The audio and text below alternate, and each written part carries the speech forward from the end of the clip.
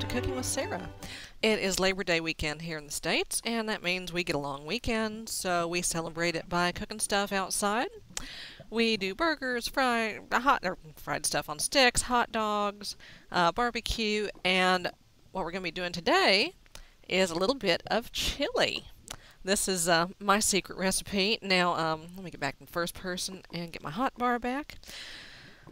Now, there is a recipe in Harvest Craft for chili, um, but to be honest with you, it's pretty weak chili. Um, you know, a bean, a couple of vegetables, a steak. Oh, this one even has a chili pepper in it. Ooh. So, you know what? Um, you can make this if you want your weak Wolf brand chili out of a can. Um, but we're not going to do that today. No, today we're going to do this the right way.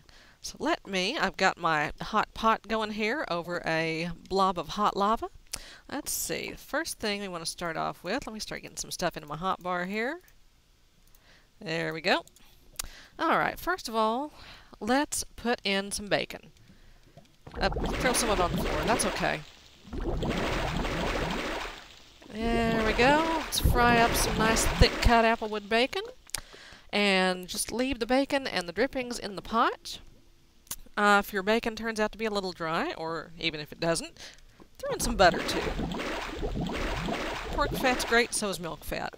Uh, next thing you want to add is a little bit of, well, about a little bit, how about about two pounds of browned uh, chili meat. That's the coarse ground stuff, or you can use stew beef, or however you want to do it. Just put all that in there. You know what? Where's that? Um, I don't have any mutton. Sometimes I like to put in a little bit of lamb. Let me just... Um, oh, I'm still creative. That's not good. There we go. Let's see, where'd that lamb go? I can put this away. Let's just... Whoops. Get back in there. Come on, lamb. There you go. Alright. While that's sizzling up, go ahead and rough chop some onions. Throw that in there. Lots of garlic. And some chili peppers. Now, this is personal preference. Um, if you're kind of wimpy, just go ahead and put in a banana pepper, some Anaheim chilies, uh, of course, you want to put in some anchos for you know good chili flavor, chipotle. Uh, those of us who like real chili, we'll put in some serranos, uh, put in some um, habaneros. Oops, did I lose all my peppers? Okay. Uh, there's probably some uh, South American insanity peppers in there somewhere. Uh, go ahead and put in some bell peppers, just for flavor. And if you like, you can roast your peppers first. Gives them a better flavor. Uh, add some herbs and spices. Um, I can't exactly tell you what this is because then I'd have to kill you. There we go. And a little bit of tomato. Okay. Now let that all kind of simmer up for a second before you add in your liquid. I get all this out of my hot bar. And let's move on to, whoops, go back here. Get, get the stuff back in order. There we go. Okay. Now, add a little bit of seasoning. Um, let's see. Some salt. It's getting dark. Hee uh, pinch of sugar. Brown sugar is better, but we don't really have that, so we'll just use what we have. Um, a little bit black pepper. And then we want to add some liquid so we can get this simmering real good. Um, a little bit of tomatoes, tomato broth. And I like to put beer in my chili. Let's just flop that in there. Usually I'll use uh, Shiner Bock. I've used Guinness before. It turns out great. Um, okay. I'm from Texas. There are people here who would string me up for this.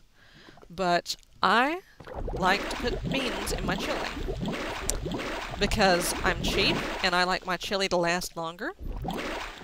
And you can make a bigger batch of chili with less meat that way. And, you know, they're, they're good for you, too. A little bit of fiber.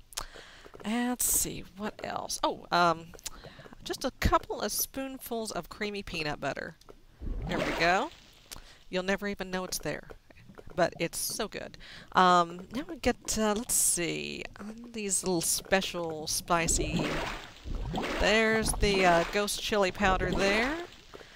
And just one tiny drop of my special hot sauce. Maybe another drop. Maybe a few more drops. Okay. Ooh, looking good. All right. Uh, we will just... Oh, I almost forgot. Let's put that away for now.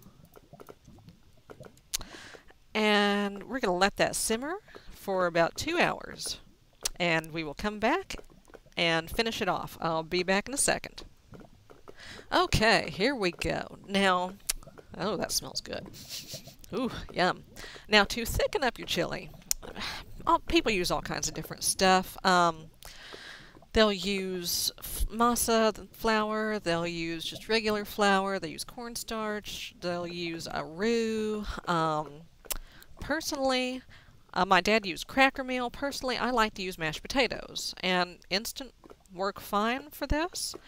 But if I have just, you know, some leftover real mashed potatoes laying around, I throw a couple of spoonfuls of those in too. There we go. All right, now let's give this a little stir here um, with this fancy, fancy spoon here. There we go. Mm. Yum, yum. Oh yeah, let's get over here and, mm, boy, that, what's that noise? Oh yeah, yeah,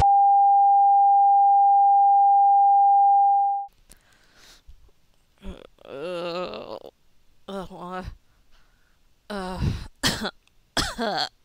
Oh. well. So, how to make chili. A pot, a steak, a chili pepper, some beans, a mixing bowl. Put it in your face. From all of us here at Cooking with Sarah, happy Labor Day if you're merkin. If you're not merkin, happy weekend. I'll see you next time, folks. Bye-bye.